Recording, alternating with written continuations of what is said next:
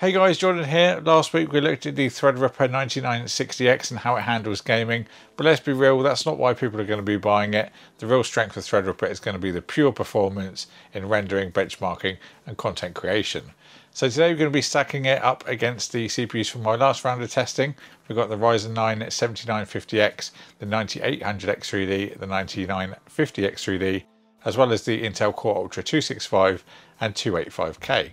This gives us a solid set of results to see exactly where this chip lies. And also just for fun, I'm going to be showing you how it compares to my daily system, a 7600X. Not in every test, but just to eventually resolve. That's the CPU I use every day, so it'll be fun to see what happens if I swap it out for a Threadripper monster. Let's go over the test system and we'll cover the benchmarks. Of course, we have the 9960X. We've got more information about the specifics if you want to know more in my previous video, but this is a 24 core, 48 thread CPU with a base clock of 4.2 GHz and a boost of up to 5.4. That's on the Asus Pro WS TRX50 Sage Wi-Fi board with an Noctua NH-U14S TR5 SP6 cooler.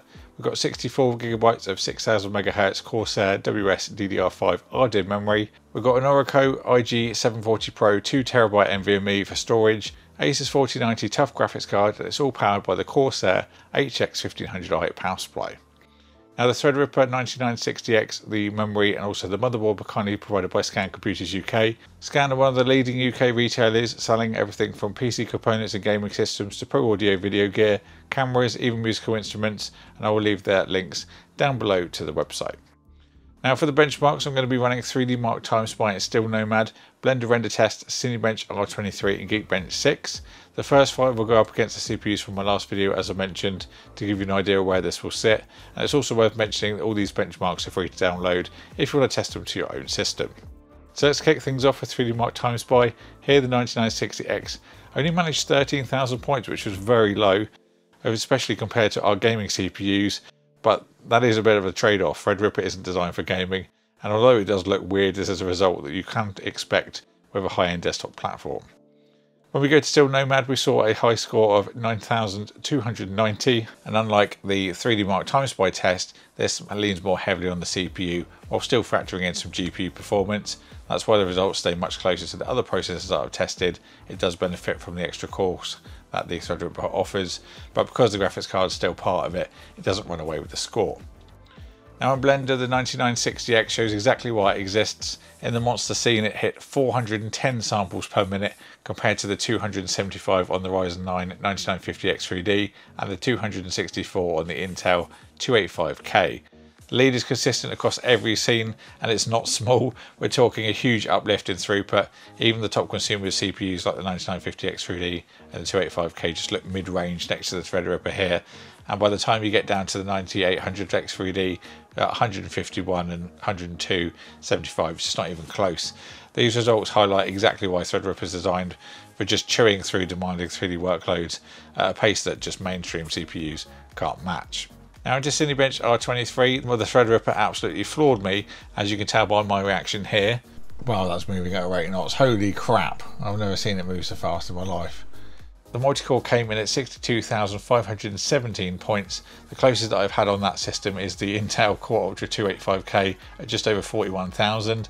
Even the Ryzen 9 around 40,000 and the 7950X just looks really small in comparison to 36,000.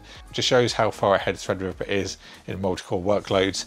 Single core doesn't really stand out, but um, the multi-core is obviously what you're buying Threadripper for and what it's all about anyway. Now Geekbench 5 wouldn't just run on the 9960X, I couldn't get it to run at all, it was just really problematic.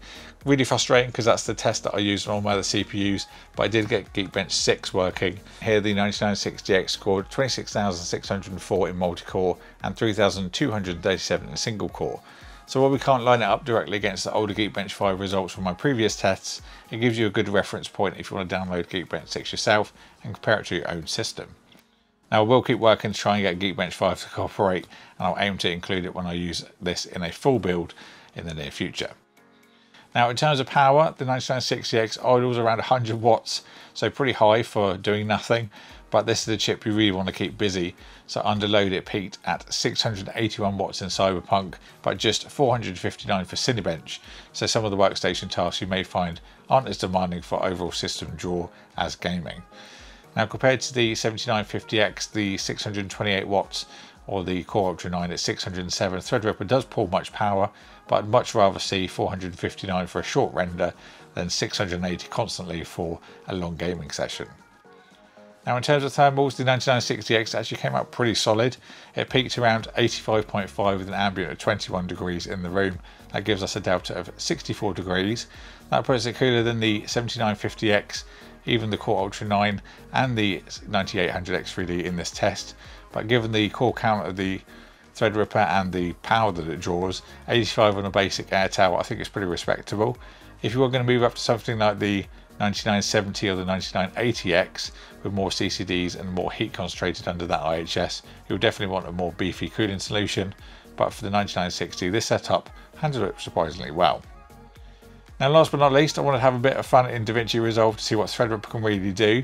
Here's my latest video for an example. Now I usually work in 4K and on my 7600X full resolution playback stutters so badly I usually have to drop multicam timelines to a quarter resolution just to keep things smooth. On Threadripper though, it's a totally different story. You can run multicam at full 4K resolution, it doesn't even break a sweat. Scrubbing through the timeline is also instant and effortless, with no lag trailing behind like my daily system. Now that's the kind of thing that really helps here, because that could save you hours across a big project. Editing is obviously where you're going to spend most of the time in that software, and slow scrubbing can just make it tedious and a real pain in the ass. Now when it comes to rendering, the difference is just as clear. On my 7600X with the 6750 XT, my latest video took 4 minutes and 11 seconds to finish. On Threadripper, although paired with the 4090, the exact same render was 1 minute and 49 seconds, less than half the time. Now obviously not everyone's going to pair Threadripper with a graphics card like the 4090, but even if you use one that's a little bit less down the stack, you have the CPU grunt, which means you'll see the big gains in high bitrate file formats like RAW video for example, where you may see desktop CPUs just start to bottleneck.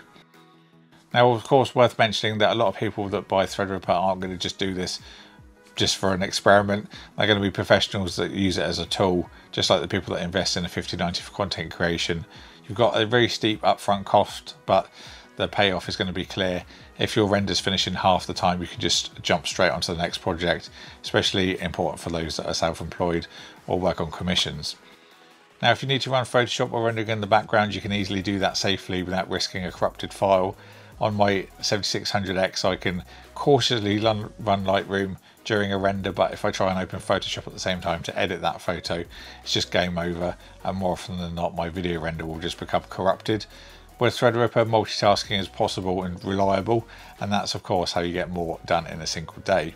Now, as you can see from the charts, the more cores you give the 9960X to work with, the bigger the gap becomes, and you can see that clearly in the Blender and Cinebench tests. Now it's not going to be a chip for everyone. The idle draw is very high, the peak wattage is serious and the price tag is huge that goes with it, not to mention the motherboard and specific memory that you're going to need. But for the people that's built for, creators, editors, 3D artists, it doesn't just save time, it changes what's possible in a single working day. And that's why the professionals are willing to pay for it. And that's why Threadripper will just stand in a category of its own.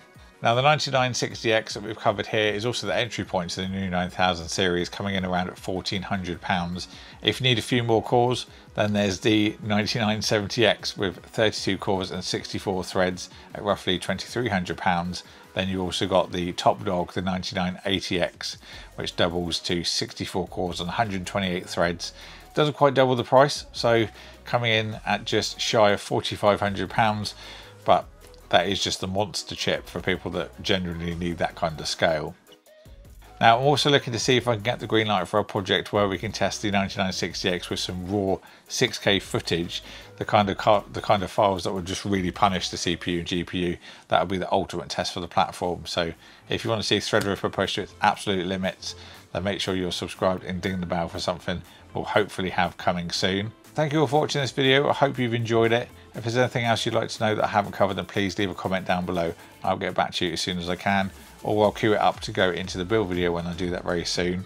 I'll also leave the links for the products I featured in this video in the description box below if you want to pick anything up. Big thank you to Scan for sending out the CPU motherboard and the memory for this one. Thank you all for watching and I'll see you all in the next one.